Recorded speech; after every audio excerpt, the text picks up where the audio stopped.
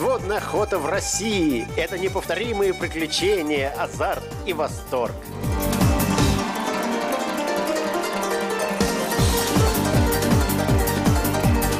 Россия огромна, много рек, озер и морей.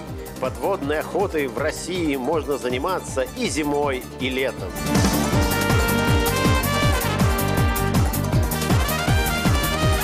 Зима – это ледяная протраченная вода, блестящий от солнца снег на берегах рек и вкусная уха с дымком от костра среди снежных сугробов в кругу друзей.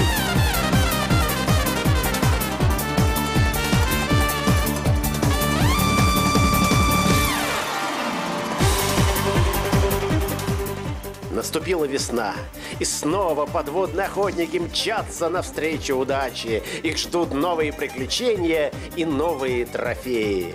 Впереди целое лето. Мы походимся на головля, угря, сазана, судака, толстолобика и, конечно, на речного гиганта сама. А самы в России достигают 100 килограммов и более. Удачи тебе, подводный охотник!